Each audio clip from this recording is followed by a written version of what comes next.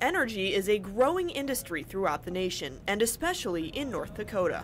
The oil boom and opportunities in the Bakken region may dominate the headlines, but energy opportunities have long played an important role in North Dakota's economy. You hear a lot about petroleum now in the oil fields, what's going on out west, but before that, remember we have great resources of coal here, um, wind, so there's all types of jobs, ethanol, biodiesel, there's all types of other jobs besides the oil field work that was here for the last 50 years. Since then, the Bismarck State College National Energy Center of Excellence has been providing the training and education the industry needs by preparing students to enter the energy workforce. I've been involved in energy for about 25 years now.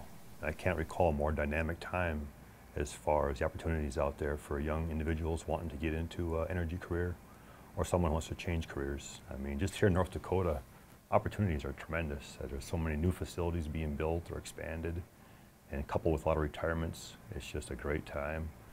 And these aren't jobs, these are careers, a lot of growth potential for people getting hired and moving up the ladder. They could be operations in which they decide to go out in the field of either a power plant or an oil refinery and they actually operate the equipment and they understand how to troubleshoot it and understanding what is wrong with something at a certain time and then realize who needs to be involved to fix it um, they also could be a technician and where they would actually go and fix the equipment. So that would be something like an INC technician or a maintenance mechanic. The National Energy Center of Excellence began with the line worker program in 1970 and now offers 11 energy related certificates and associate's degrees along with a Bachelor of Applied Science in Energy Management. If a student comes here to BSC, when they leave our program and they graduate, they're ready to be an entry level operator which puts them on a track type progression to, to move through an operations track. And education at Bismarck State College provides students with endless career opportunities,